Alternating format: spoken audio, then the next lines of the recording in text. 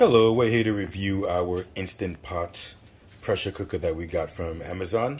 It's actually not a pressure cooker, it's a pressure cooker as well as a air fryer. It roasts, broils, it does a whole bunch of stuff. It's got 13 functions. 13 different functions. We really like it. We've used it to do a few things. Right, so um, for this pot, first of all, I love, love, love, love this pot. So I've air fried in it it air fries better than my air fryer. Um, halfway through the cooking process, it will tell you, it will beep and tell you to turn your food over because it doesn't have air circulation on the bottom. So you need to split, you need to flip whatever you're cooking, your air frying over so that it cooks, which makes sense. But it air fries really, really well and really fast. Um, I've even baked a bread in here. Uh, you need to set your um, temperature lower than you normally would because what I found was my top finished a lot faster than the bottom. Once again, I think it's circulation. So you need to just, you know, adjust it so that it bakes well and fries well.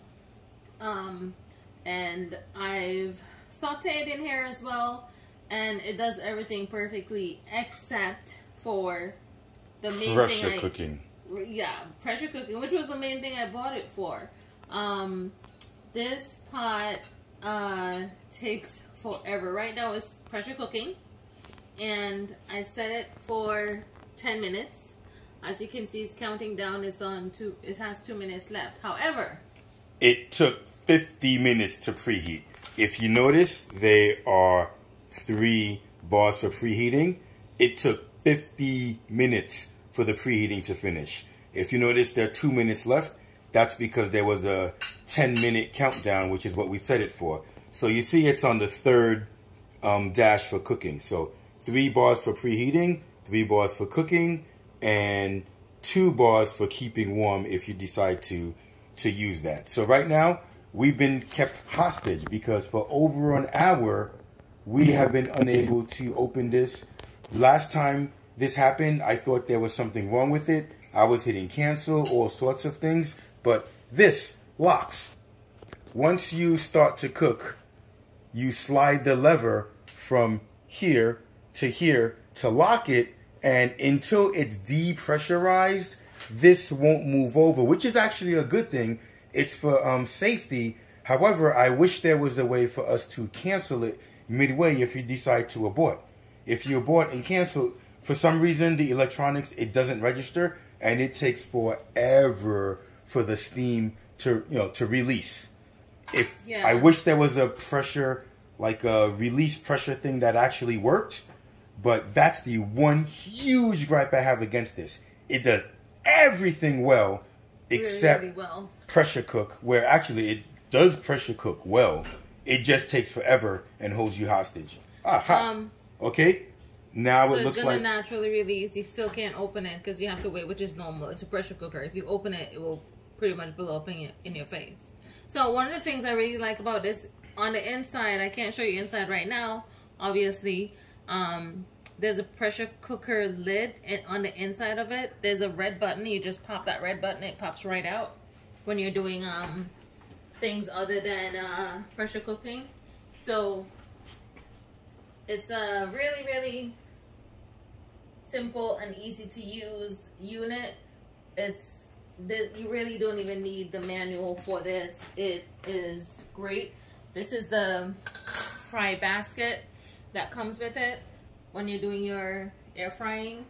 Um, I love this pot. Absolutely love this pot. The only thing I don't love is that the pressure cooking.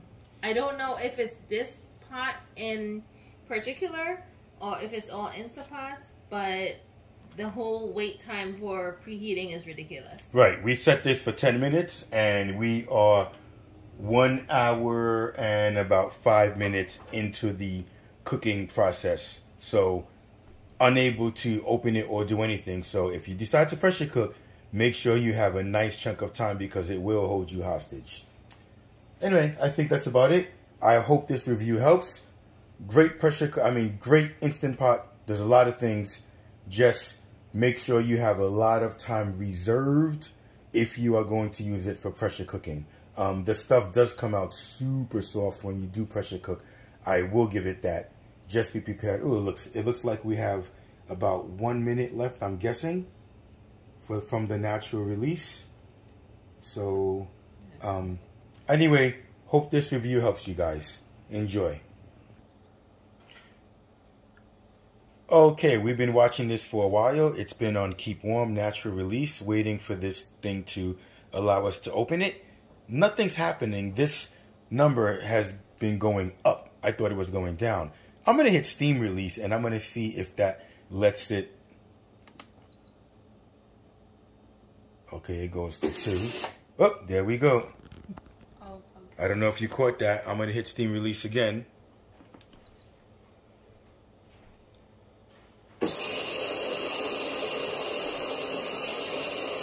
So it looks like if you hit Steam Release, it looks like if you hit Steam Release, it'll let some of the pressure off and you'll be able to open your lid quicker.